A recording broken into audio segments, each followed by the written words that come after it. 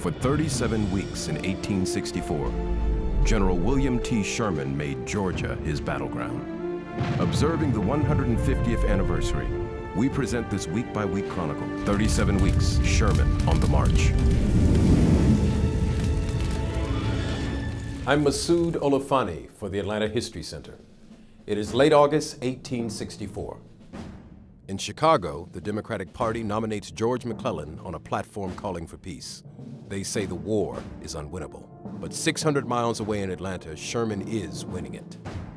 After abandoning the siege lines around Atlanta, Sherman leads his army on a wide flanking march.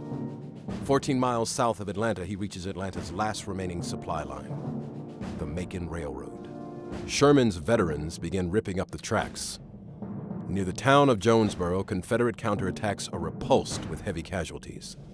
Atlanta is doomed. Hood is forced to evacuate Atlanta or risk being trapped in the city and slowly starved out. On the night of September 1st, Hood's men set fire to an ammunition train trapped in the city. 80 boxcars of ammunition go up in a massive explosion that shakes buildings all over town. In Jonesboro, Sherman hears the explosion and knows what it means. The next morning, the first Union troops march into Atlanta. Sherman telegraphs Lincoln, and so Atlanta is ours and fairly won. It is the greatest turning point of the war. I'm Masud Olufani, and this is Week 20.